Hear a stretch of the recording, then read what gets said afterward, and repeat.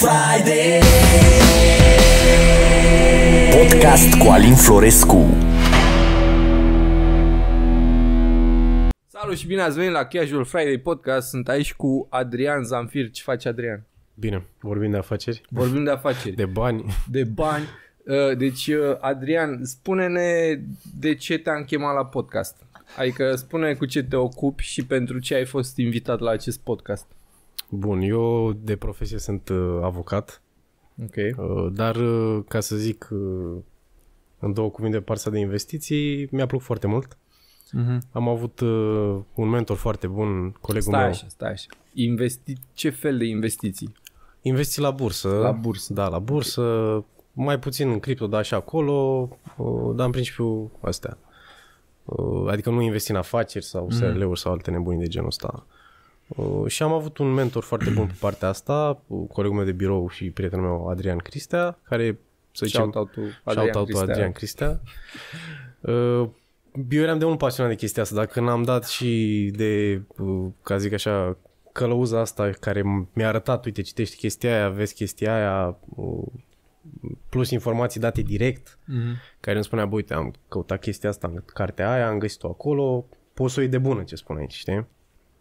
Și ușor, ușor am început să investesc. Dar se mai fac cărți despre chestia asta? Adică de ce nu... e- Adică mi se pare că informațiile astea ar trebui să le găsești pe internet mai grabă. Adică există oameni care cumpără gen cărți fizice despre Da, chestia da, asta? da, există. Aia mai, care vor să cunoască și mai în... uh, Dar nu în poți să, in-depth, nu ca poți să să zic. cumperi un curs de la un băiat de pe internet care să, ca să vezi mai Cumpără repede cursul chestiile și astea. vei face 100 de milioane în două zile. Da, da, da.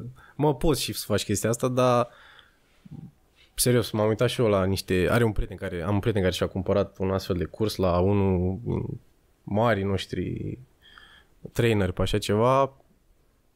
Cred că dacă stăteam cu el la o bere, îi spuneam pe gratis tot ce a aflat în cursul într-o săptămână. Și nu, nu te tentează și pe tine să faci un curs din asta? Mă, din nou, nu sunt profesionist jet pe jet, adică nu, nu pot să zic că am autoritatea necesară. Oamenii au ok, au diverse atestări, certificări și mai departe. Poți să vii cu un CV în spate să zici ascultă-mă. Și de asta mi se pare o chestie interesantă uh, să-ți iei tot timpul disclaimer, știi, să ți iei tot timpul rezerve cu privire la sfaturile pe care le dai și asta e o chestie strict avocațială, știi? Mm. Am, am și eu un tovarăș care e avocat uh, în Franța, Octavian David, salut dacă te Shout uiți. out Octavian. Așa. Uh, omul a vrut să facă o postare pe LinkedIn despre cum crește piața or something. O, o chestie, na, și-a dat cu părerea, basically.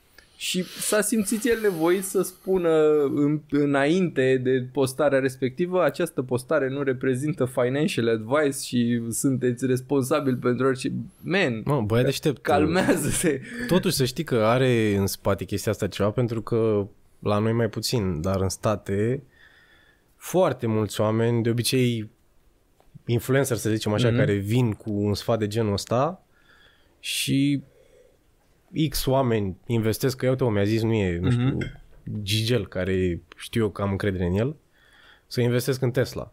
Și mâine a explodat Tesla în jos Ok. și mi-am pierdut uh, economiile de Life viață. savings.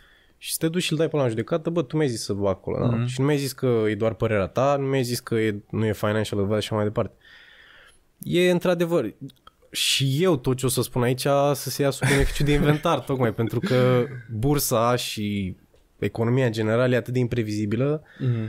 încât uh, ar trebui să fie de la sine înțeles că Da, e uite, sub beneficiu de inventar, dar Uite, asta, asta, asta e chestia, că uh, din, mo- adică în momentul în care înveți câteva chestii despre cum funcționează legile și cum funcționează datul oamenilor în judecată și cum funcționează răspunderea civilă și toate Mhm. chestiile astea, uh, ai așa un fel de aversiune față de riscuri, aversiune Da, față de da, orice, față de un băiat de pe internet care face un curs și zice garantat o să Da, câștigi nu, nu, super mulți bani dacă îmi cumperi cursul. Și guess what? Omul ăla face atât de mulți bani încât și dacă cineva îl dă în judecată că a pierdut 2000 de euro care reprezentau toate economiile lui de viață, Mhm. mm-hmm. omul are bani în, în, în eventualitatea în care chiar pierde procesul, are bani să-și acopere uh, pierderile, știi? Și Da. mi se pare, bă frate, uh, mm, oare noi facem chestia asta greșit sau el, știi? Mă, știi, da, la noi da, dar în state ai și class action, știi? Și dacă anunță cineva, bă, începem class action pe uh, Gigel, da, da. se strâng toți, s-ar putea ca Gigel să-i cam parou, că a zis uh, Păi X da, fac, dar știi? na, adică toate ori răspunderea civilă de oriunde pe planeta asta e condiționată de solvabilitate. Adică dacă n-ai Da. ce să pierzi, na. Și plus că există la ăștia uh, e mai, adică insolvența persoanei fizice e, e mult mai ok decât la noi, așa că na, n-ai, dacă nu mai are ce, să- dacă, ți- dacă E, era la noi o expresie, nu știu dacă e la voi expresia asta că și ce faci, mi-a cai de la bicicletă? Mhm. Adică n-are ce să-mi ia dacă n-am nimic, știi? În fine, așa, zi cu asta, cu, cu- deci cu bursa. Cum vreau, eu de exemplu am foarte mulți bani din podcast făcuți. Uh, deci am făcut foarte mulți bani din podcast și nu vreau să îi pierd basically prin inflație. Adică mm-hmm. nu Mhm. vreau să am din ce în ce mai puțin bani doar pentru că îi țin în cont. Ce Da. pot să fac eu cu banii ăștia? Mă, da, uite, ăsta e un aspect foarte interesant de discutat și inflația, dacă să zicem că nu ești tu mare pasionat de investiții, dar măcar inflația ar trebui să te facă să vrei să bagi bani în ceva. Da. Uh, Ideea cu inflația pe scurt, poate pentru cei care nu sunt atât de uh, familiarizați cu ea, e că de la an la an banii încep să aibă o valoare în ce în ce mai mică Mm-hmm. și se anunță că chestia asta va accelera și mai mult în viitor pentru că statele vor de așa fel să-și plătească mai ușor datoriile, pentru că dacă tu ai o datorie de 100 de milioane și vine o inflație de 50%, plătești cu 50% mai puțin practic, în realitate. Uh, Păi oare uh, datoriile pe care le are un stat sunt exprimate în moneda statului respectiv? Nu, dar, spre exemplu, vorbim de dolar.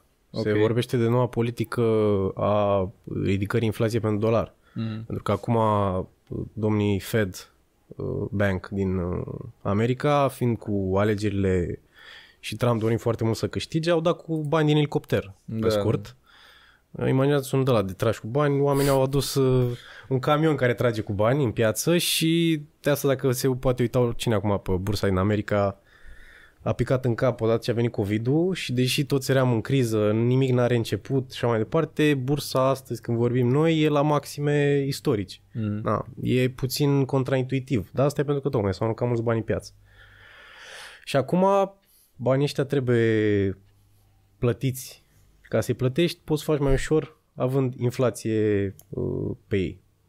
Am Deci înțeles. pe viitor se anunță o inflație Asta mai mare. voiam, asta voiam să te întreb inclusiv în legătură cu inflația, dacă indicele ăsta al inflației, care, nu știu, în general e cel puțin la noi în jur de 4-5% or something. Da, am mai scăzut acum din fericire când au venit. uh, Da, ți se, Aia pare, alții. ți se pare că ăsta e cinstit? Adică ți se pare că chiar atâta e inflația? Da. Și, Da. Adică, nu știu, mie mi se pare, de exemplu, că de la an la an chestiile pe care le cumpăr eu cel puțin se scumpesc cu mai mult de se 3-4%. scumpesc, uh, aș zice că se scumpesc secundar datorită din cauza inflației și principal din cauza altor aspecte. Spre exemplu, ia, nu știu, biscuiți. Am înțeles. Să zicem că tu te duci acum în magazin și o să vezi că biscuiții tăi sunt cu 10% mai scump ca anul trecut. Asta Mm. e pentru că în România, spre exemplu, a fost o secetă cum nu a mai fost în ultimii 50 de ani, foarte puțin grâu, prețul grâului a crescut, prețul biscuitului a crescut Da, da, da. salariul minim, să zicem, crește, crește și prețul biscuitului și tot, tot mai departe. La care se mai adaugă și inflația, care îți dă knockout uh, total, ca să zic așa. Da, da. Deci, practic, toate chestiile pe care le cumpăr eu nu se scumpesc neapărat din cauza inflației, ci din cauza altor factori. Da, și uh, poți să pui și inflația. Deci Da, nu da. numai din cauza inflației, da, ci înțeles, și dator, înțeles. din cauza inflației. Da, mi se pare, mi se pare fair. Bun, și acum uh, am explicat care e faza cu inflația. Bun, zim ce fac cu foarte mult, cei foarte mulți bani pe care i-am și na, stau basically cu curul pe ei. Că nu... Bun, păi uh, ai mai multe variante și dacă ar fi să ne imaginăm uh, o scară a riscului, să zicem că aici e cel mai puțin uh, riscant pe masă și pe aici e cel mai riscant, da? Ok. Ei, jos aici de tot ai depozitele bancare care uh, la lei primești o dobândă în jur de 3-4% în funcție de cât de lung faci depozitul care de principiu ar trebui să acopere inflația. Depinde și de bancă. Unele dau mai mult, altele mai puțin, dar dacă găsești oferte bune, ajungi pe la un 3-4, să zicem. Și poți zici că, bă, mi-acoperă inflația, anul trecut a fost 1,5 din fericire, mm. sau 2, ceva pe acolo. N-am mai avut noi cea mai mare inflație în UE. Deci poți zici că ar câștiga și 2%. Da, bun. Problema e că s-ar putea să dai de ani în care inflația e mai mare decât ai tu dobânda Mm. și să pierzi bani, deși primești acea dobândă. Ei, pentru persoanele care vor să facă un pas mai sus, ai obligațiunile. Care obligațiuni sunt de două tipuri. Sunt de stat Mm. și corporative. Ale corporative de aici vine, corporații ale firmelor. Uh, Cele de stat, de principiu, poți să spui că nu au riscuri. Pentru că, practic, tu împrumuți statul, că obligațiunea asta e, Da. uh, statul vine și zice, fac o emisiune de obligațiuni, asta înseamnă vreau să mă împrumut de la populație. Și tu vii și dai statului, ia 1000 de lei, tu dă-mi obligațiunile și peste 2 ani, și, mă rog, anual îmi plătești dobânda, deci în 5%. Anual eu mă duc la poștă sau pe uh, brokerul meu, dacă mi-am luat prin broker, și mi-au cei 5%, 50 de lei, dacă aș avea 1000 de lei băgați. Ei, și la al doilea an mai iau și cei ultimi 50 de lei și mi-au și principalul, adică cei 1000 de lei. Deci, mm. practic, am, după 2 ani am ajuns să am 1100 de lei. Mm.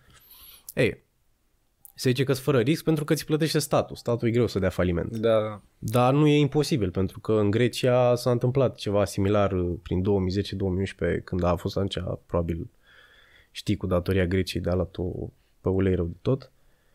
Dar și acolo s-a rezolvat.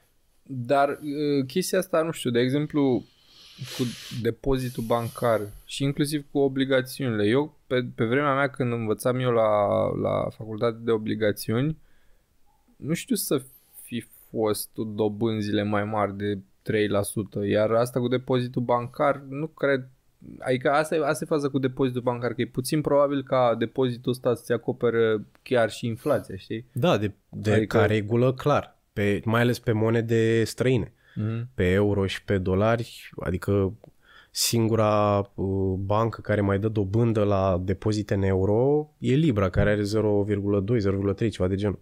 Dar în rest găsești do- dobânzi de 0,01. Da, Deci... La BT, BRD și așa mai departe, te crucești. Adică eu îi dau banii lui ăla, îi folosește și Da, el da. nu dă nimic, practic. Exact. Să zic mersi că îmi ține banii sau ceva de genul. Da, acolo da. Dar am văzut uh, tot la fel la unele bănci că cumva nu știu ce i-a făcut să ajungă la uh, procentul ăla, dar să la 3% dobândă. Mm. Dar din nou, pe perioadă mai lungă, nu pe un an. Da, deci practic trebuie să nu umbli la banii ăia Da, o da, perioadă mai da. lungă în care poate să se schimbe foarte mult inflația, Da, deci da. practic Da, poate tu bagi azi anul ăsta când inflația e 1% și zici, mamă, ce șmecher Da, sunt da. că am băgat cu 3% dobândă, deci mai câștig 2% Mhm. și bagi pe 5 ani și în al 5-lea an poate inflația 10% Da, și... Da, și uite că gen chestiile astea sunt considerate cele mai sigure investiții Mhm. în sensul că, mă rog, nu-ți pierzi Principalul principalul, da. Da. da. Dar de fapt poți să pierzi Da, da, da. investi, adică poți să pierzi, poți să nu câștigi în atât de rău încât să fii mai jos decât Da. ai fost înainte. da. Uh, bun, ce urmează după obligațiuni? Uh, Bun, deci la pe alea de stat despre care Da. spuneam, da. astea sunt destul de sigure Mm-hmm. și au și randamente bunicele, adică uh, statul român a emis niște obligațiuni acum uh, în- la finalul 2020 Mm. În euro, dobândă 1,75 pe an, 3 ani. E o dobândă foarte bună. Adică, având în vedere că, din nou, creditorul pe care îl ai e statul, cel care îți va plăti banii și foarte puțin probabil să dea faliment. Mm-hmm. Ei, bun, pe lângă astea, mai ai și obligațiunile corporative care se emise de uh, firme. Spre exemplu, Elefant uh, a emis obligațiuni pe piața de valori București cu, nu știu, 5% dobândă, să zicem, în euro. Mhm. Nu știu dacă așa e, dar mm, știu că au emis oricum pe BVB. Ei, acolo firma respectivă o să vină cu o dobândă mai mare pentru că ei au și un risc de a intra în insolvență ca să nu, și tu ți asumi riscul că s-ar putea să nu te mai plătească la final. Mm. Și de aici și vine randamentul mai mare. Cu cât riscul crește, adică asta e o axiomă a investiții, cu cât riscul crește, cu atât și randamentul crește. Da, evident.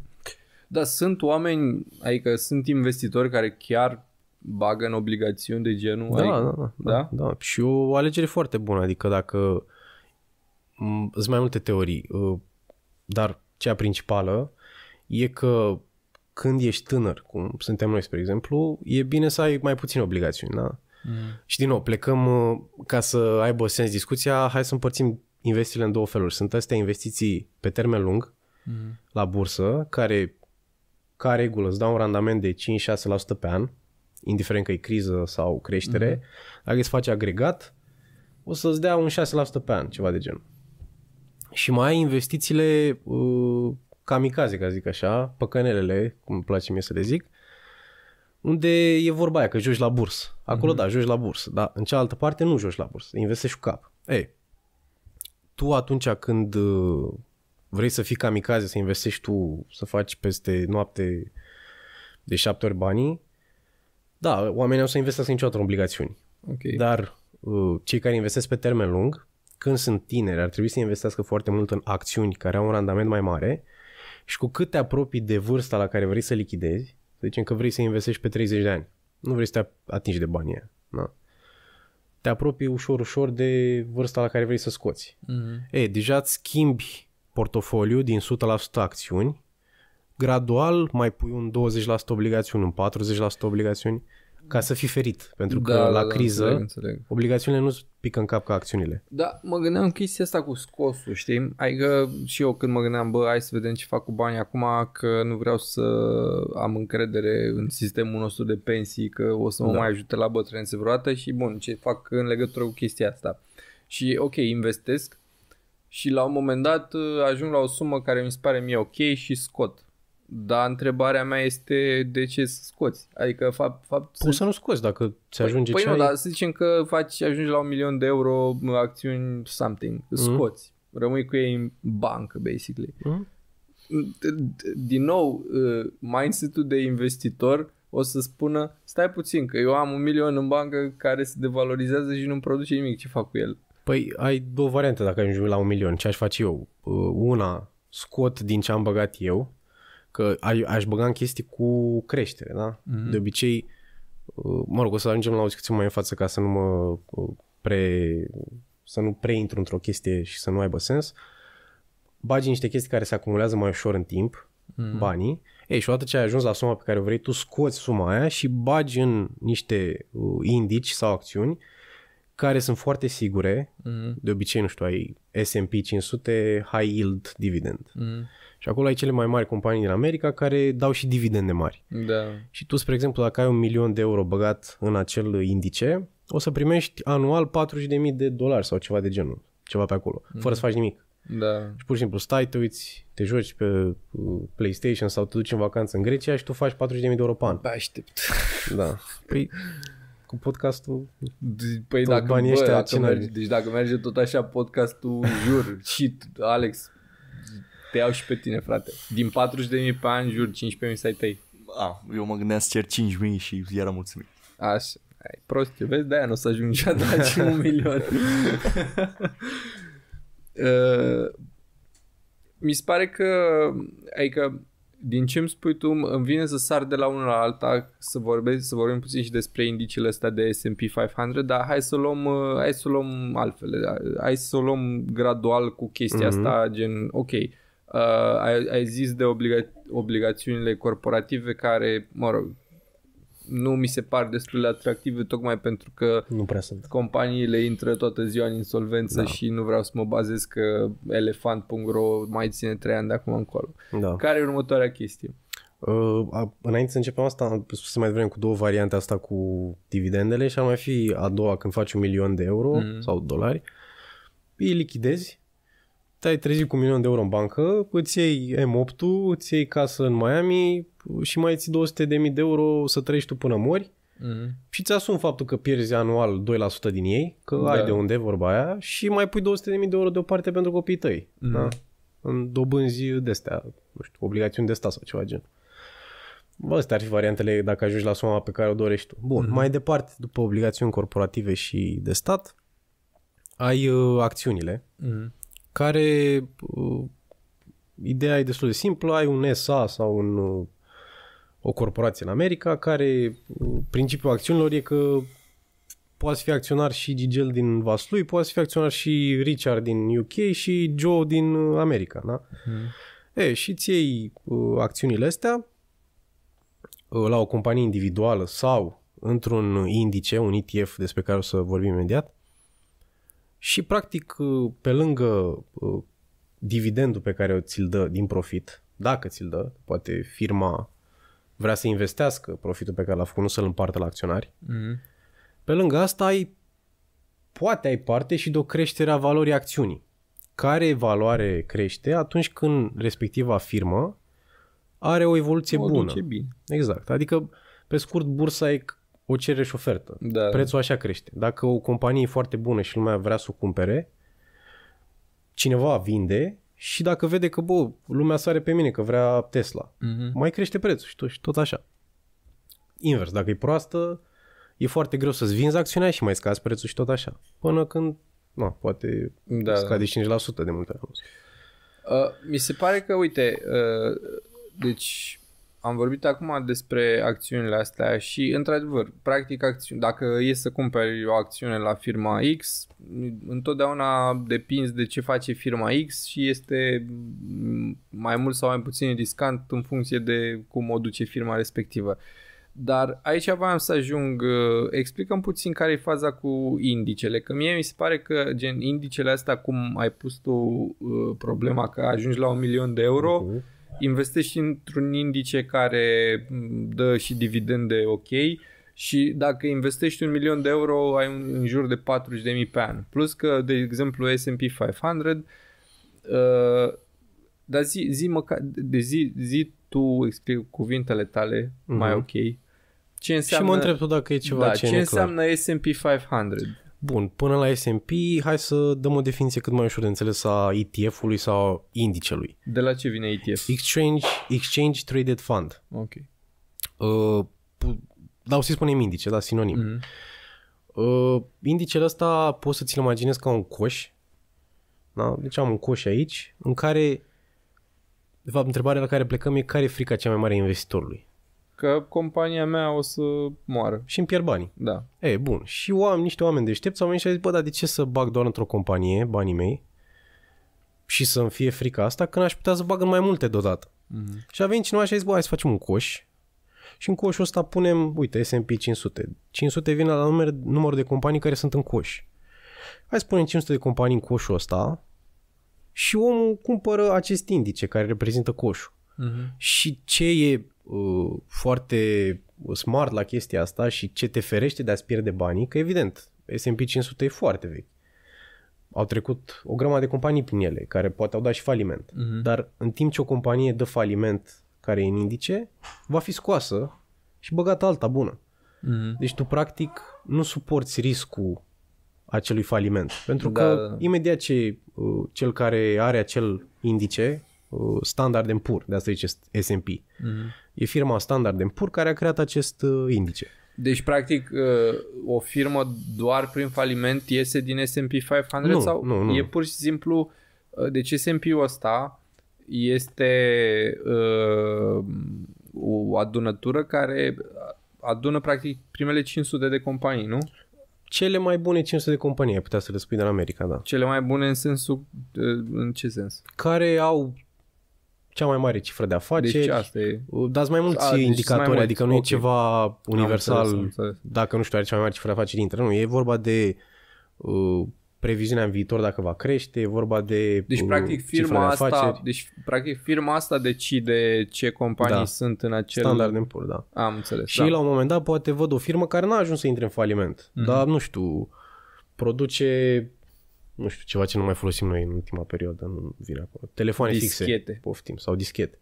Da, și a cineva a inventat CD-ul. Da, da, da. Și aia o să-și dea seama că sunt oameni foarte bine plătiți ca să-și dea seama de chestia aia și să zică, bă, hai să scoatem firma aia care produce dischete, că Da, n-are viitor. Din ce, uite, adică în comparație cu tot ce ai prezentat până acum, adică în comparație cu, nu știu, să-mi țin banii la bancă sau să-mi bag banii în obligațiuni de stat sau corporative, să-mi bag banii într-un indi- indice de genul mi se pare mult mai sigur. Este. E cel mai sigur instrument de investit Deci- care există. Și adică mi se pare că pe lângă faptul că e sigur, are și, uh, cum să zic, Randamente mari. randamentul mai mare decât celălalt. Așa este, da. Dacă e să te uiți, nu știu, pe un graf cum a crescut indicele ăsta, o să vezi că, na, e undeva la 11% pe an sau ceva de genul. Da. Și e... Um, Și de ce n-ai început cu asta? păi lași la mai spre final ce e bun. Da, am Cum înțeles. e vorba aia.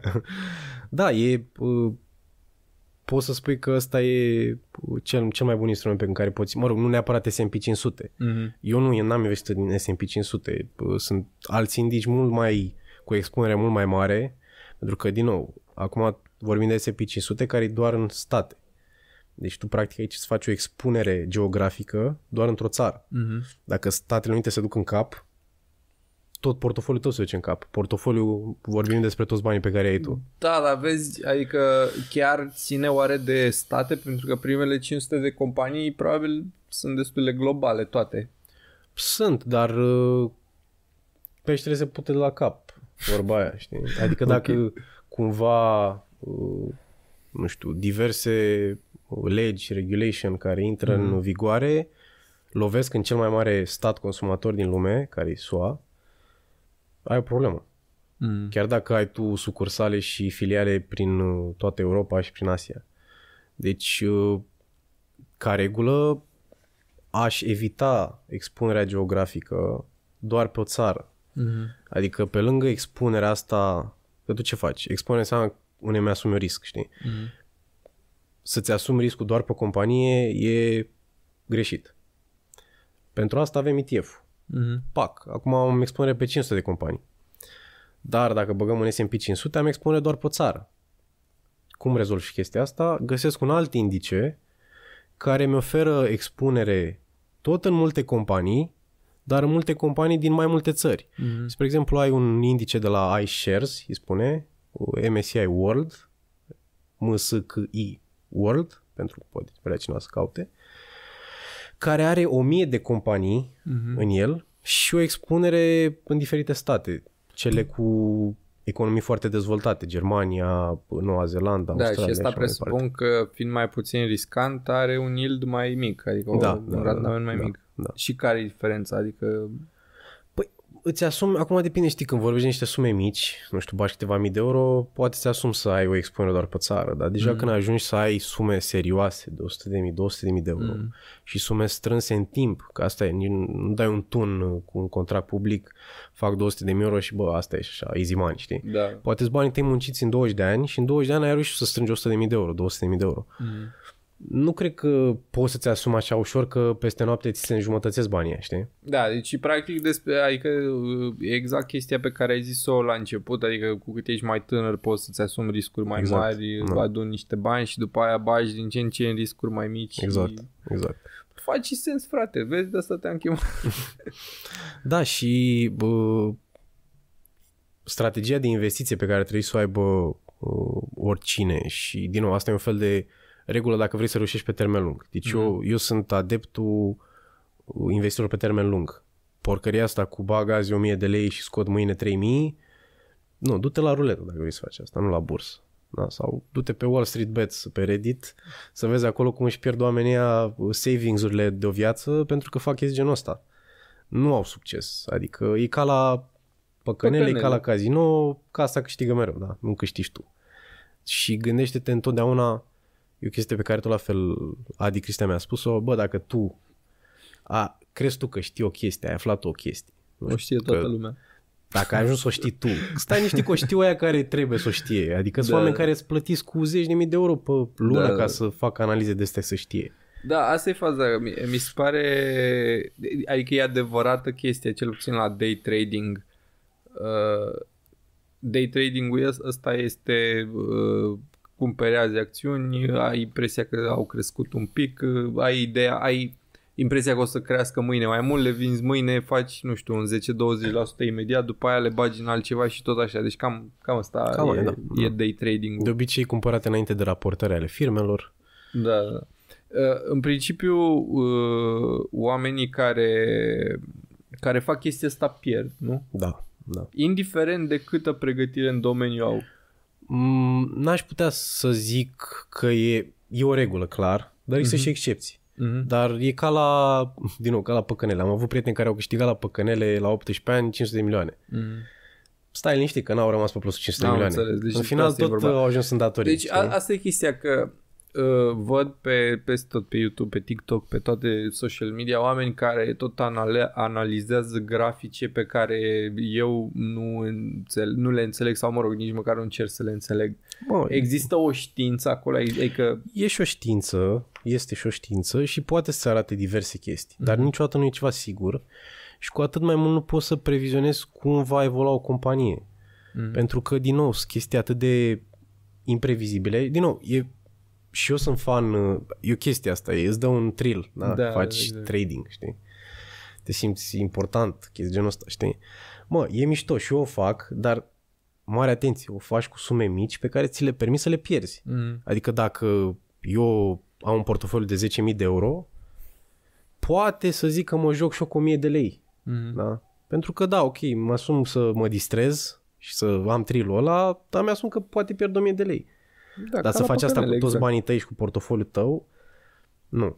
nu. E perio- Sau, mă rog, dacă pe tine te ține și apetitul tău la risc e atât de ridicat încât banii pe care tu i-ai strâns în 10 ani, 10.000 de ori să zicem, să-i pui pe, O cotă nu de știu, 2. da, fix, crește mâine nuclear electrică, că Da, mă, frate, asta e faza cu, cu toate chestiile astea că cu cât cercetezi mai mult o anumită, un anumit domeniu care are un anumit grad aleatoriu, știi, are, are prea multe variabile ca să Exact. le poți controla sau ca să le poți ști pe toate sau ca să poți să faci o, o decizie informată uh, în condițiile în care n-ai cum să le știi pe toate, știi? Cu cât, ai, cu cât uh, uh, cercetezi mai mult domeniul ăla, cu atât ai o mai mare uh, falsă impresie, știi? Adică e chestia asta, false sense of security, știi? Mhm. Eu, de exemplu, știu uh, cu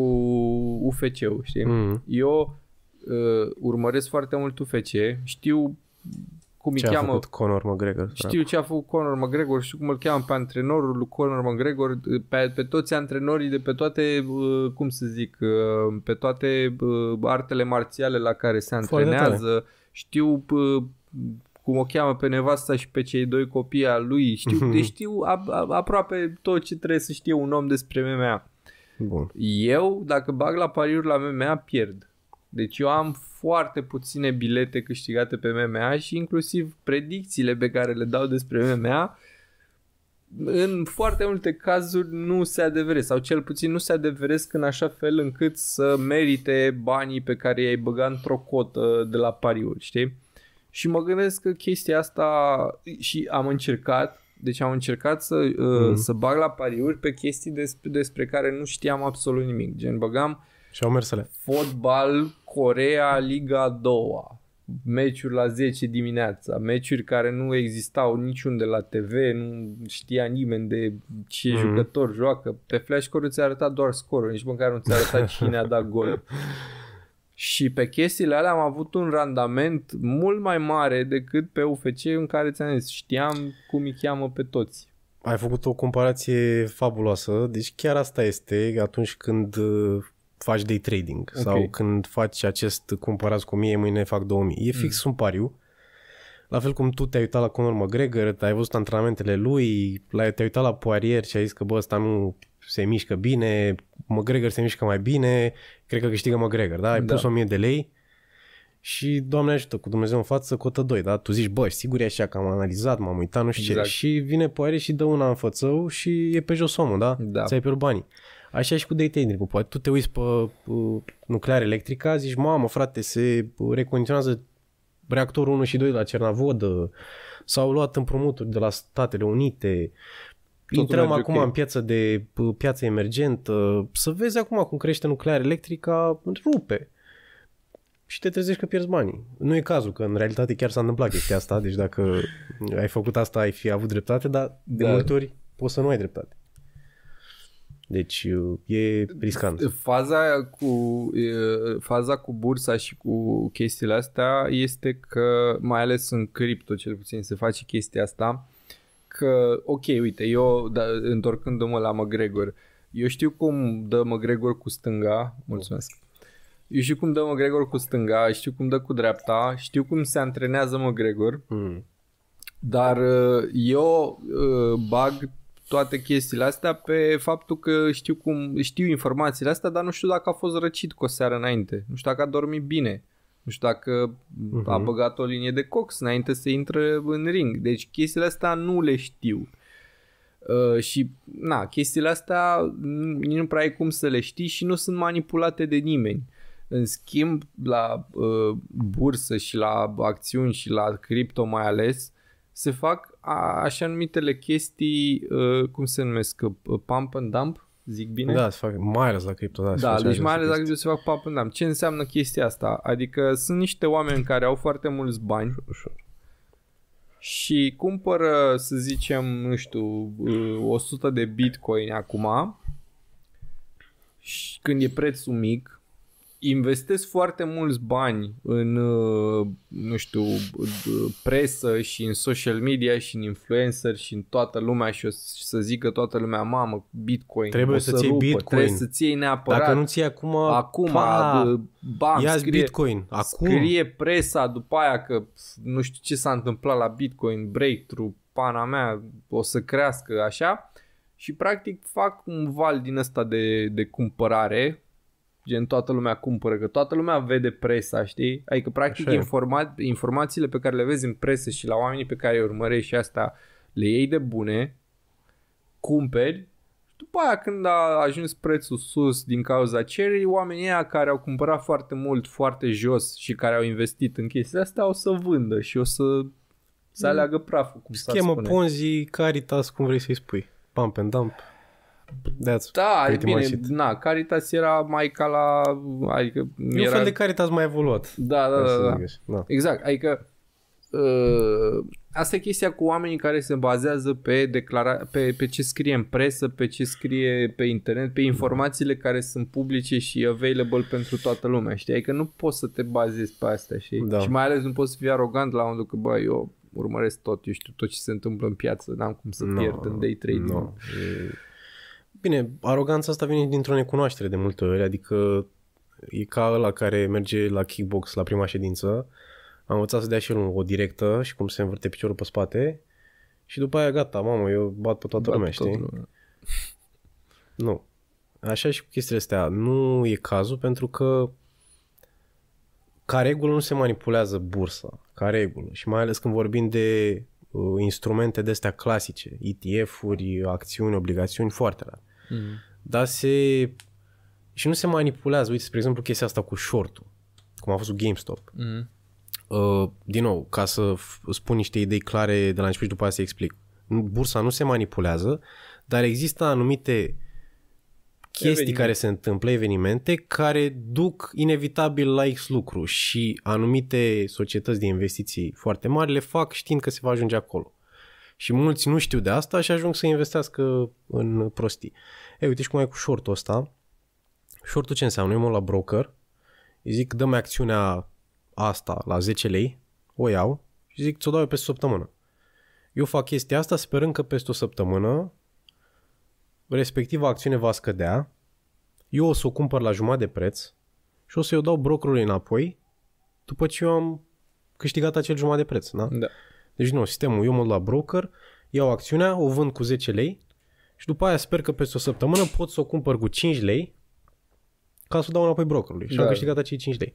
E, când, o, când trei societăți mari de investiții cu miliarde de euro băgate fac short pe o companie, e cam pusă cruce la compania, pentru că tu ca investitor, când vezi trei mari companii că zic că X companie se duce în cap, mm nu cred că bași tu împotriva lor. Evident. Știi? Și de asta zic unii că short e imoral, pentru că mai mult sau mai puțin deja când încep ăștia mari să facă short pe o companie, e cam pui cruce. Adică nu prea mai are foarte greu. Da, exact. Și tocmai că... pentru că dacă și-ar reveni, se, s-a întâmplat și s-a întâmplat și la GameStop. Mm-hmm. Pierd oameni care sunt acolo de sute de ani băgați bani. Și ceea ce nu vrea nimeni să se întâmple dintre ei. Da. Deci, da, există și această parte, dar, din nou, short-ul ăsta e un instrument derivat, sunt niște chestii mult mai complicate. Dacă you keep it simple, ETF-uri, acțiuni, nu ai asemenea probleme ca regulă. Zim cu, a, cu acțiunile astea la modul... Uh, eu, de, eu, vreau, eu vreau să cumpăr acțiuni la S&P. Uh, ce fac? Unde le cumpăr? Cum le cumpăr? cum arată acțiunile astea, unde le dețin, ce se întâmplă. Bun, practic tu nu cumperi acțiuni la S&P, cumperi unități de fond. S&P-ul va deține acțiunile respective, tu vei avea doar o unitate de fond Ok. din acel fond care deține investiția. Mhm. Și chestia asta o poți face printr-un broker. Nu poți să te duci la bursă, te duci la New York și la New York bați în geam și zici dați-mi și mie două S&P, vă rog frumos, și o gumă. Mhm. Nu merge așa. Trebuie să te duci la un broker care, asta e treaba lui, e intermediarul între tine și bursă. Și uh, pui un ordin de cumpărare, mă rog, îți debitezi contul cu cât vrei tu să cumperi, 2000 de lei, să zicem, 2000 de dolari, și spui brokerului tău, bă, cumpărăm S&P de 2000 de dolari. Mhm. Și îți va apărea în contul tău pe care l-ai deschis la brokerul ăla, ți-am cumpărat X unități de S&P de 2000 de dolari. Și ți apare acolo evoluția, dacă ți-a crescut, dacă ți-a scăzut și așa mai departe. Brokerul ăsta e o persoană, e o firmă, e o... E o firmă. E o firmă. Sunt niște băieți uh, care stau într-o clădire de birouri și care asta fac, intermediază aceste tranzacții. Și a, asta mi se pare interesant ce se întâmplă dacă firma aia moare. Ai uh, niște fonduri de garantare care îți... Uh, Fondurile de garantare de, de cine le garantează? Statul? da. Păi și sunt, asta... sunt obligați prin lege Ok. să nu statul creează fondul. Deși, de, spre exemplu, la bănci uh, Da, și zic că stat, la, dacă nu mă la înșel. bănci, de exemplu, e 100 de mii. Îți garantează statul Da. 100 de mii. Tu dacă ai un milion, Nu aș putea să zic sigur dacă și la uh, aceste uh, la acești brokeri ai un cap Mhm. de garantare, dar s- ai un depozitar care ar trebui să poată să te despăgubească de toți banii. Dar n-aș vrea să uh, spun ceva greșit. În orice caz, ai o sumă mare garantată, nu știu dacă peste 100 de mii. Da, asta e, impo- e, e foarte important, că gen zici că bă, eu sunt genul de investitor super safe care vreau să investesc pe termen lung și nu știu, îmi iau, pe, îmi iau acțiuni la S&P, îmi iau unități de fond or something la S&P care, ok, aici e, mai e un grad, că aici da, de exemplu, dacă S&P care e o firmă, dă faliment, Mhm. eu mai am unitățile alea de fond, ce se întâmplă Da. cu ele? Da, mai. Ok, deci a- a- aici, aici lumea Mă rog, nu stai, stai o secundă ca să facem o diferență. Dacă vorbim de acțiuni, Mhm. acțiunile sunt ținute la un custodian care practic, și tu dacă ai un broker să zicem, folosești brokerul 1 Mhm. și ai toate acțiunile la brokerul ăla, tu poți să te muți la brokerul 2 cu toate acțiunile, fără nicio problemă, pentru că tu, nu brokerul are acțiunile tale, e un custodian care le are Mhm. Da, și da, ok, practic le înțeleg. învârte cum vrea. La unități de fond, într-adevăr, fondul are unități respective Mhm. și dacă dă faliment, într-adevăr, acel fond de garantare nu poate să-ți dea fond, gen, gata, ia unitățile astea de fond. Mhm. Că ele nu există decât în construcția care există acea firmă, știi? Da, da. Nu poți să ai unități standard în pur dacă nu mai există standard în pur, știi? Din nou, aici intră discuția pe care am avut-o cu cât te garantează, ceea ce ar trebui să verifici în funcție de fiecare țară în care investești. Da, asta e, Și mai departe. e, e foarte important la investițiile pe termen, sc- pe termen lung, că toată lumea zice că bă, astea sunt cele mai safe și e super ok, dar ce faci dacă dă faliment? Că uite, acum toată lumea e la modă, ai, ai văzut uh, reclama aia pe YouTube cu Alec Baldwin? Cu, Cu Itoro, da, când împăturește haine. Da, când împăturește haine și tu nu știi, na, nu știi ce, care e treaba, vezi pe băiatul ăsta care e convingător, totul ți apare dacă n-ai YouTube Premium ca un om, ok, Mm, mm. așa. și până la urmă te convinge, ia mă să văd care e treaba cu Itoro și cumperi la Itoro acțiuni la chestii super safe pe 30 de ani. O să mai existe Itoro peste 30 de ani? Ce se întâmplă dacă nu o să mai existe cu acțiunile tale? Da, de asta um, trebuie să folosești instrumente ale unor firme consacrate. Adică, evident, riscul de a da faliment există pentru orice firmă. Au dat faliment și mari bănci când a fost în criza din 2008. Dar uh, dacă tu folosești un standard în pur, spre exemplu, Mm-hmm. mie mi-e greu să cred că va da, dacă dă faliment standard în pur, S-a terminat. ai o problemă mare ca piață în general. Adică sunt Mhm. niște chestii pentru că la fel de bine poți să zici bă, poate mâine îți pare bursa, știi? Mm-hmm. Dar dacă mâine îți pare bursa, aia va fi ultima ta problemă. pentru că probabil niște evenimente Da, da. mondiale au dus la chestia asta. Aș care vrea, sunt să mai fac rele o, decât aș vrea să trebuie. fac o mică paranteză totally unrelated. Deci, uh, am o mașină de spălat vase pe care o folosesc destul de rar și care nu știam că un program durează gen două ore jumate și când se oprește începe să piuie exact cum auziți acum și nu știu cât, de ce mai face și înțeleg că te-ai oprit, te-ai deschis, gen ce mai vrei? Cred că vrea, cred că da, vrea, vrea să o închid-o. închizi, vrea să o închizi. Închid-o, nu știu, habar n-am. Așa. Hai să vedem dacă mai comentează acum. Doamne știu. În fine, da, nu vă luați mașini de spălat vase, spălați drept cu vasele de mână ca orice om normal și în fine. Uh, Deci bun, S&P 500 probabil că nu o să, n-o să dea faliment așa și uh, ar trebui să nu folosim eToro basically dacă vrem să facem investiții pe termen foarte lung. Ca regulă, nu a, aș zice nu, dar Mhm. nu pot să dau un răspuns clar și ferm pentru că nu am făcut due- due diligence pentru acest Da, broker. vezi un răspuns de avocat. Gen, Adică- bă, Mă, nu, când e, nu știu, zic. când e ceva ce pot să spun sigur, da, dar Da. n-aș vrea să induc oamenii în eroare, să Da, zic, bă, da. nu-i bun Itoro, nu da, asta folosi. e faza că zici Poate că... unii folosesc și vin după aia zic, bă, nene, dar ce, mie mi se pare bun sau eu cred că e bun sau da, nu știu mă, că de e bun. dracu să zic în comentarii, încă contează. Ideea e că, uh, na, pentru foarte multă lume, eToro este, uh, nu numai că e o firmă reputată, dar este the leading shit in... Uite, eu de exemplu care n-am nicio treabă, m-am Vezi? băgat pe Itoro că am crezut că doar el există. Da. Deci, uh, tipul Și și mă cu rog, reclama m-am ju- cu hainele împăturite și-a Exact, făcut treaba. merge. M-am jucat virtual, adică n-am băgat Da. da. până cu bani. Dar efectiv, știu că mai vorbeau alții, gen de Tradeville într-adevăr și încă Da. da. ceva, dar mi s-a părut mult prea complicat și mult prea real. Ăsta a fost foarte prietenos ca interfață și ca tot Da, și da, cred da. că cumva. Deci, Da, Tradeville uh, e, din perspectiva mea, brokerul cel mai bun pentru bursa de la noi. Mhm. Are cel mai mici comisioane, mai ai și BT, Capital Markets uh, și alți brokeri românești, dar uh, români, dar Tradeville uh, are cel mai mici comisioane. Păi bun, și acum să reluăm întrebarea de la început. Eu am foarte mulți bani făcut din podcast Mhm.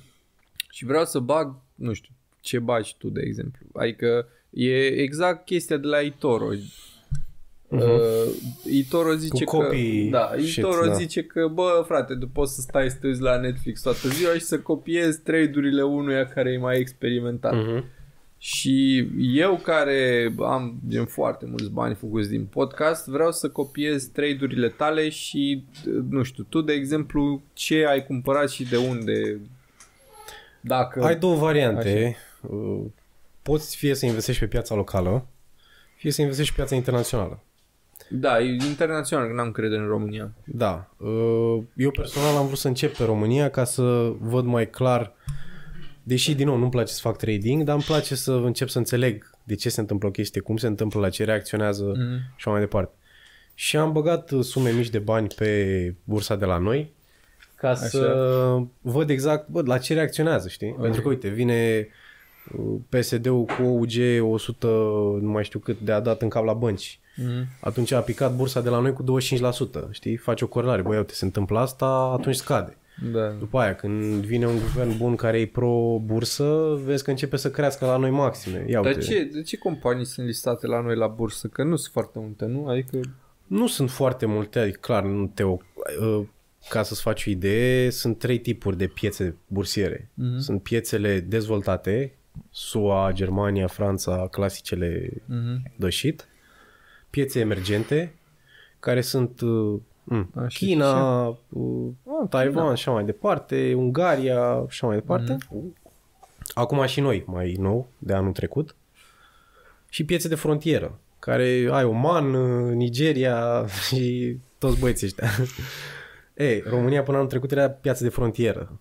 Uh, Am ajuns Cât cumva... de nebun să vii să bagi în bursa Nigeriei? E- Sunt niște avantaje totuși. Acolo cred că sunt niște băieți care le bag așa pe calculator din tastatură. Sunt niște avantaje, cel puțin la noi, nu știu, n-aș putea să vorbesc de Nigeria, dar la noi Mhm. ai uh, multe companii de stat listate, nu știu, SNL-ul. nuclear, Oltenia. electrica, ce nu știu dacă e. Cuzețov, ce Oltenia e listată la bursă? Nu știa? Eh, ai. Da, mă, rog, ai electrica, nuclear electrica, p- Da. conducte petrol aia care au uh, toate conductele în țară și au monopol pe chestia asta, Transelectric, așa mai departe. E, ăștia fiind companii de stat, ai două perspective bune aici. Unu, îți dau dividende mari, că trebuie să dea, și doi, e foarte greu să dea faliment o companie de stat care are monopol, gen Transelectrica sau Conducte Petrol. Da. Bun, deci până la urmă că, nu știu, nu, ori am, n-am fost eu atent, ori care e faza cu uh, de, deci de unde trebuie să de unde trebuie să iau acțiuni în așa fel încât să mă protejez cât mai bine de un eventual faliment al unei companii. Adică gen, ok, înțeleg că Itoro s-ar putea să nu mai fie peste, nu știu, X ani. De unde trebuie să iau ca să fie ok? Trebuie să-ți găsești un broker la care tu trebuie să te uiți pe el să vezi, bă, brokerul ăsta e serios, Da, i-a da, apărut a- ieri. Asta e faza, că Itoro este, pare foarte serios. Adică Itoro pare de dacă, shit. dacă îl verifici, eu nu l-am verificat, că nu folosesc, dacă Mm. îl verifici și nu-ți dă niciun red flag, nu zici nimic, bă, ăsta are domiciliu prin nu știu ce insule nebune cu Mm. o persoană fizică asociată, da, ok. Deci nu, e, nu există nicio posibilitate să am eu o chestie acasă la mine să fie independentă de orice Nu. broker și Nu. să fie la mine și atât. Nu. Am înțeles. Ok. Nu, din păcate. Am înțeles. Așa, zim cu cripto acum. Hai să vedem care e faza cu cripto și de ce e atât de diferit cripto față de, nu știu, acțiunile. Pentru că e foarte Clasice. volatil, de cel mai multe ori sunt schemuri, Mhm. sunt uh, prostii cu pump and dump de cel mai multe ori, Mhm. iarăși.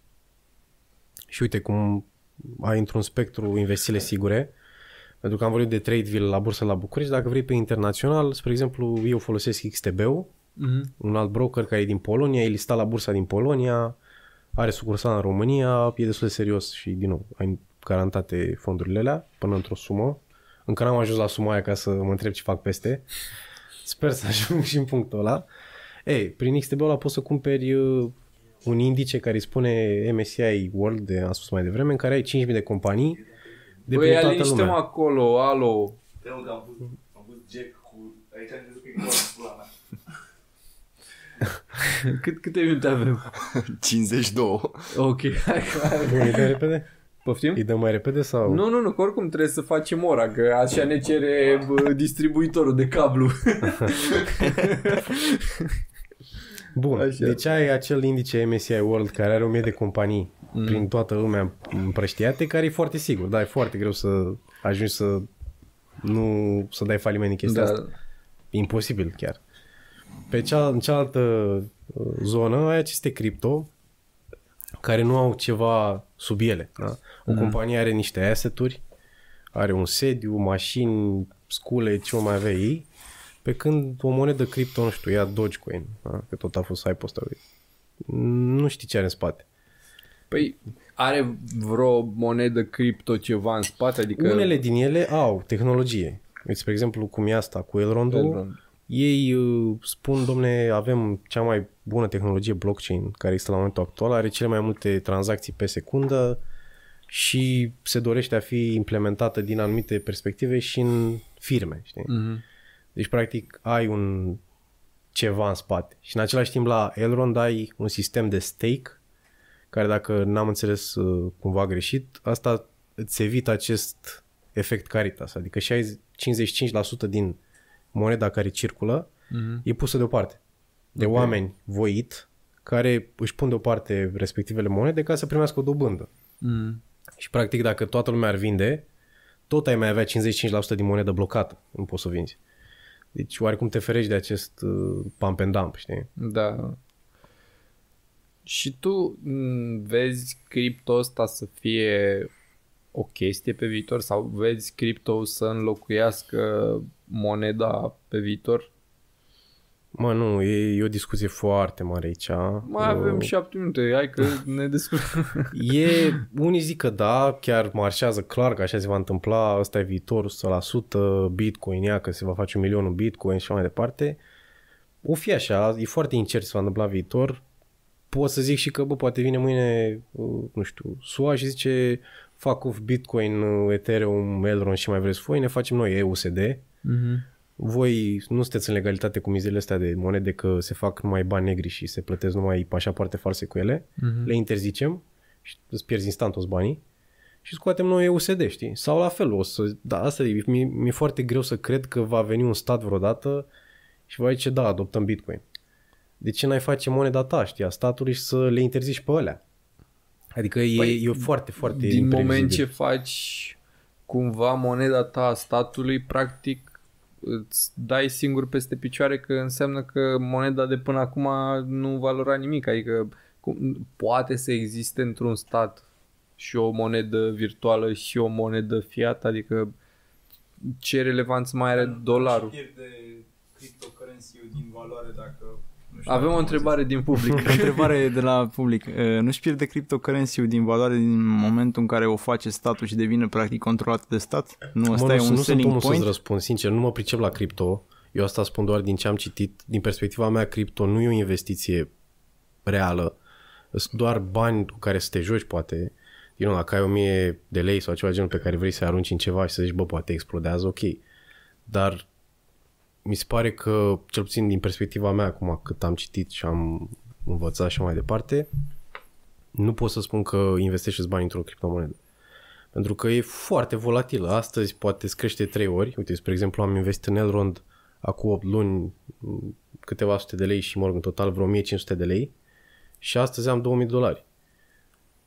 Practic a crescut de 3-4 ori, dar la fel de bine poate mâine dispare moneda. Adică eu nu știu ce se va întâmpla. Sau, Cred din că a nou, crește crescut și de mai, mai mult. mult de 3 Da, cât o fi crescut, nu mai știu că nu am verificat, dar ideea e că e foarte imprevizibilă. Dacă ai o sumă de bani nou cu care să te joci, să o arunci, fă dar să-ți investești bani serioși în criptomonede, fă dacă ești Răzvan Munteanu și ai de unde, sau mm. Mm. Buhni sau alții de ăștia. Buhnici zice, mi se pare fascinant că Buhnici face un podcast content de o oră pe criptomonede Am văzut, da, ceva în de fiecare genul, dar nu, nu, săptămână nu urmăresc. și omul zice că eu nu investesc în criptomonede. Dar Buhnici uh, zicea într-un podcast că a vândut fix când uh, a văzut că scade și n-a mai băgat după și era în podcastul cu Răzvan Munteanu și el a zicea că bă, da, ai greșit, știi? Păi da, Gen au- nu mă, da, e, e evident, deci stai puțin, că exact asta vorbeam înainte. Eu acum... Da, e fix speța cu UFC-ul în care Buhnici teoretic care avea mult context despre treaba aia și tot... Uh, Păi nu, da, da, acum La vorbesc fel. din perspectiva lui Răzvan Munteanu. Deci Răzvan Munteanu e un băiat care are foarte mulți bani făcuți în principiu, cred că din imobiliare și care zice, bă, cam 30% din averea ta ar trebui să fie investită în criptomonede. Cam așa zice el, asta e ideea lui, na. Uh, Evident că un om care are un milion de dolari investit, zic așa, un milion de dolari investiți în criptomonede, o să zică, boss, investește în Da, e criptomonede interesul lui ca că să crește. crească prețul, Da. știi? E, e, exact chestia asta e, știi? Adică nu, nu o să te poți baza niciodată pe informații care îți vin de la un om care are un interes care are stake acolo, da, are un Da. interes în faptul că tu cumperi criptomonede. Normal că dacă el a investit toată averea lui de viață în chestii, are cel mai mult interes să creadă în chestiile alea și să facă cât mai multă lume să, să creadă în chestiile astea. Da, da, adică să, ăsta mi se pare cel mai, uh, cel mai mare risc și uh, e cea mai mare problemă cu criptomonedele, știi? Adică, bă, frate, ți-ai cumpărat 10 bitcoin, a ajuns la un milion de dolari, cum scoți și gen dacă mai poți să scoți și dacă mâine statele nu o să zică gata, nu mai recunoaștem sub nicio formă chestia Da, asta asta. mi se pare și... cel mai mare risc posibil, sincer. Chiar mi se pare... Bine, și bine, ai și af- anterior să zic că interzicem, o să fie o legislație pusă în Parlament, în dezbatere și mai departe. Care, o să Care îți va totul. permite, îți va da un tampon de timp în care să zici, bă, vând, știi? Că Oricum atunci va scădea prețul în draci, dacă Mhm. Da. va exista așa ceva, vreo propunere legislativă. Dar uh, dacă să zicem că tu, bă, las că e un bitcoin, îl las acolo, uit de el, nu mă mai interesează nimic, se face un milion de euro și, la, și se face două, că știu eu, că mi-a zis mie Răzvan Munteanu pe podcast, s-ar putea să te trezești la un moment dat că, bă, nu mai e, știi? Nu ai ce A- faci cu el. Asta e faza, aici devine, aici devine totul super complicat, că gen, evident că nu toate statele o să aibă aceleași standarde în materie de criptomonede și poate că Estonia nu o să se alinieze sau poate Mhm. că Mexic sau poate că Guadalajara o să aibă chestii, uh, nu știu, legislații diferite și toată lumea o să vină acolo Mhm. să scoată criptomonedele, să vină cu banii în saci în țară, gen o să fie, o să fie super haos. E, e vorba și de prețul care va scădea. Că odată ce va da cineva tonul și va interzice chestia asta, se face în cap, instant. Adică de la cât o fi atunci, zice, un milion de dolari, în trei zile ajunge 10 dolari. Dau un exemplu extrem ca să aibă sens. Dar au statele vreun interes în chestia asta? Pentru că acum, de exemplu, România nu are decât de câștigat, sau mă rog, statele în general nu au decât de câștigat din faptul că chestiile astea cresc. De exemplu, eu dacă iau acum un bitcoin și, nu știu, investesc 1000 de euro în bitcoin și se face la un Mhm. moment dat 2000 de euro, eu îi plătesc statului român 10% impozit pe chestia asta. Dacă îi lichidezi la 10% din câștigul tău. Da. Statul român are vreun interes să Nu, are, are, interzică? pentru că, din nou, la noi nu e atât de groasă treaba, dar în statele astea cu criminalitate mult mai Mhm. Mare, gen, nu știu, SUA, China, America de Sud, a citisem la un moment dat, din nou, nu sunt chestii pe care le știu forsent, sunt Mhm. chestii citite de pene și acum ai văzut cum e în ultima perioadă cu chestiile pe care le citești și nici de pe sine nu mai poți să iei uh, informația că deja a ajuns de stânga maxim, nu mai Da. poate să zică nimic imparțial. Citisem la un moment dat că cam tot ce înseamnă economie subterană, economie, crimă organizată și așa mai departe, a ajuns să se învârte în jurul acestor criptomonede. Mhm. Adică nu mai e nevoie să muți tu banii prin Elveția, prin nu știu ce bănci ca Da, să nu ajungă mai e la nu nevoie știu să vii ce cu drug valiza. dealer. Da. Și ia frate Bitcoin-ul. Dă-mi wallet-ul tău și îți trimite pe wallet-ul meu Bitcoin-ul și ți-l lichidezi tu pe Binance sau unde ai tu nevoie. Mhm. Și tu ca stat ai vrea să pui o piedică acestor oameni care au acum o economie paralelă între ghilimele care merge fără probleme. Nu poți să-i urmărești ca ai blockchain dacă folosești soluțiile ăștia general în care ești total untraceable. Mhm. Cel puțin așa zic ei acum și așa zic și specialiștii care au verificat. Acum nu știu exact, că nu cunosc uh, IT-ul din spate. Deci eu ca stat aș vrea să opresc chestia asta, pentru că e Da, fucking dar paradise nu pentru... te temi că lumea o să înceapă să se mute spre statele astea în care o să fie un fel de paradisuri de criptomonede. Adică dacă eu am o monedă pe care, uh, nu știu, lumea o vede că ar valora un milion de dolari, de exemplu, Mhm. România o să piardă practic 10% din impozitul pe care l-aș plăti pe câștigul ăsta și o să câștige Guadalajara 10%. Da, dar Cum? mi se pare că statul n- n-are mai ales, bine, poate în America poți să discuți chestia, dar și acolo s-a schimbat foarte mult. Statul nu are ca scop principal să câștige bani. Mm. Adică statul are un scop mai grav social, de protecție, ai contractul ăsta social între tine și stat, tu mă protejezi, eu îți plătesc taxe și impozite, sau mă rog, așa e pe hârtie. Mm-hmm. Uh, Deci ar putea zic că statul, bă, lasă-i naibii de 10% că și așa sunt doar 1000 de oameni care investesc sau ceva de genul, deci ai cât câștigă statul din impozitul pe criptomonede. Bă, dacă l-ar plăti toată lumea. Să zici că hai, poate faci câteva milioane de euro și 100 de milioane de euro. Ce Da. e pentru un stat 100 de milioane Da, de euro? înțeleg, mai ales înțeleg. dezvoltat, știi? Înțeleg.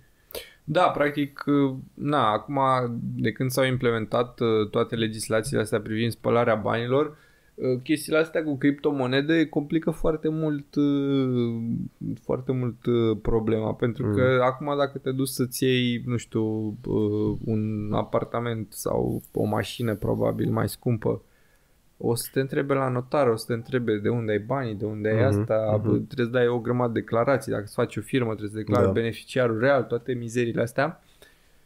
Uh, Acum mai adaugi o, o chestie la, la problema asta, o, un grad de dificultate cu criptomonedele.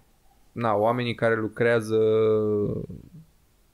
la stat nu sunt, oare, nu, nu sunt foarte pregătiți și de asta zic că, bă, toate chestiile astea evoluează mult mai repede decât pot legile să evolueze și după criptomonede poate, na, o să existe altceva sau poate existe, o să existe alte chestii super, super complicate.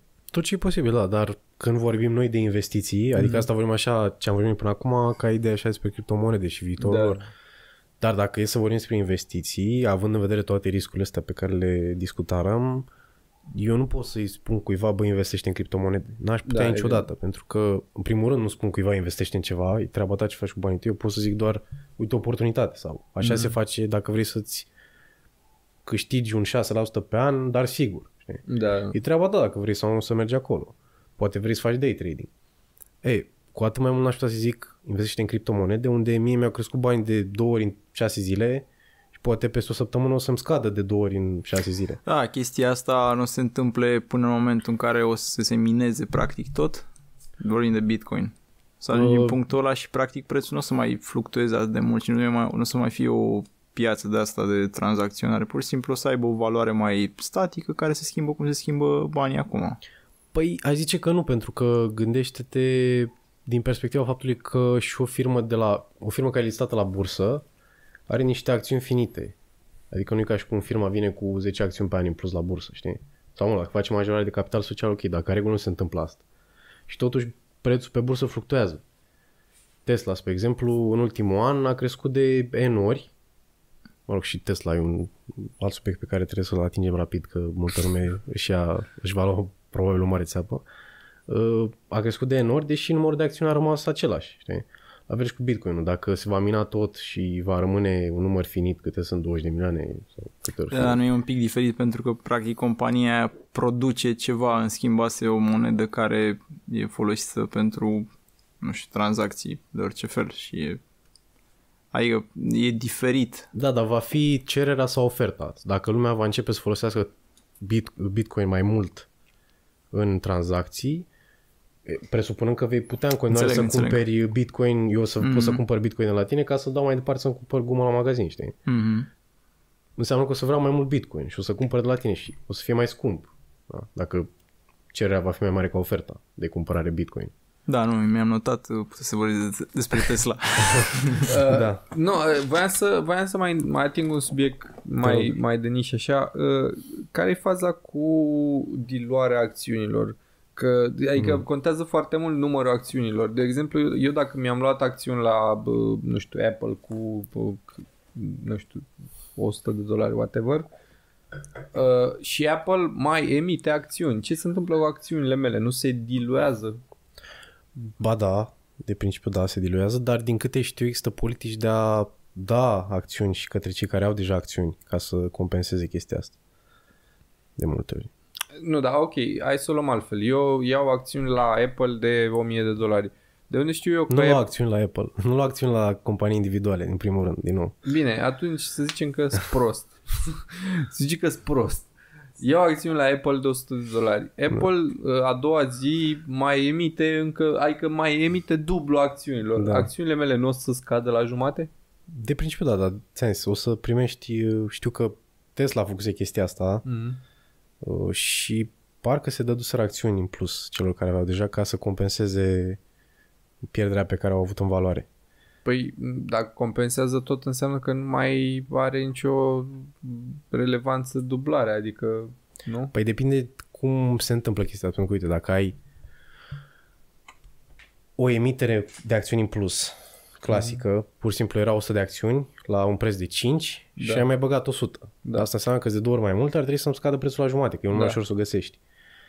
Depinde cum se întâmplă această emisiune, dacă tu ai un drept de preemțiune să cumperi mai întâi, dacă uh, există un investitor care primește acțiunile alea și prețul de pe bursă nu se mișcă deloc. Adică chestiile astea m- încearcă să... Există mecanisme pe care să, prin care respectiva companie să evite. Pentru că atunci, evident, tu ca acționar și ești acționar de retail și ești în Tesla, spre exemplu, acționar, tu cu încă milioane de oameni. Mm. Evident că nu o să-ți convină. Și Tesla, ca uh, cel care te servește pe tine, că până la urmă asta se întâmplă, nu vrea să-și supere acționarii. Pentru că Da, după aia da. lumea va vinde, va Va zice, bă, vinde. ce ai făcut și în, în jumătățiși valoarea. Mm. Nu se poate așa ceva, știi? Deci există mecanisme care să evite chestia asta, dar din nou, nu... E un subiect pe care l-am atins foarte puțin și n-aș vrea să-l, uh, din nou, să dau o, un verdict clar.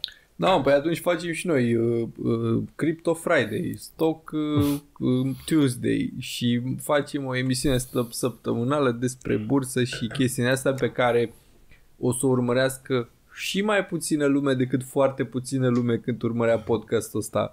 Și cu asta cred că bă, ne-am lămurit cu tot ce era de lămurit, deci uh, nu băgați în cripto, nu băgați într-o singură companie, nu băgați într-o singură țară, Nu băgați în Tesla. nu băgați în Tesla, că e târziu sau nu băgați deloc? Are niște uh, sunt niște indicatori de piață, price to book value și price to earning ratio, așa le spune, care îți indică cam cât de scumpă e o companie, cât de Am scumpă înțeles. e acțiunea pe care o cumperi tu. Și Tesla are unele din cele mai mari, oh cei mai mari indicatori din Vezi, istorie. uite, alte chestii în care nu avem timp să intrăm, frate. De asta Pe trebuie scurt, să facem o... Pe super scurt, dacă Tesla până în 2030 și ar îndeplini toate obiectivele Mhm. pe care și le-a setat și prețul acțiunii ar rămâne ăsta de astăzi, încă ar fi scump în 2030, Ok, ca să înțelegi cât de rău e. ați înțeles. Deci nu, băgați, este bulă, este whatever. La revedere. E supraevaluată.